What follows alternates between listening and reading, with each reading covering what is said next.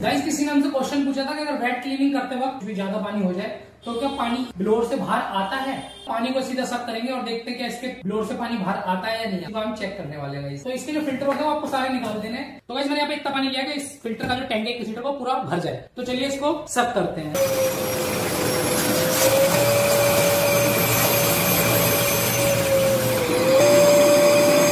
Guys हुआ क्या उतना पानी इसने सक कर लिया कि जितना इसके टैंक में आया। और इससे ज़्यादा सक नहीं कर रहा है। और यहाँ से थोड़ी भाप सी बाहर निकली थी। पानी इसमें से बाहर निकला। इसने थोड़ा पानी छोड़ दिया। क्यों नहीं लिया वो मैं आपको बताता हूँ। इसको खोलता हूँ आपको दिखाता हूँ कितना पानी तो देखिए पानी निकला। देखिए पानी में पूरा भरा हुआ है। देखिए ढक्कन दिया हुआ है। तो जब ज़्यादा पानी आता है तो ये बंद हो जाता है। तो जब ये बंद हो जाता है, आगे काम नहीं करेगा। तो आपको क्या करना है? पहले इसको खाली करना है। उसके बाद ये आगे काम करेगा। अगर ये आपका बंद नहीं हुआ तो आपके ब्लोर से कूड़ा कचरा सब बाहर आएगा।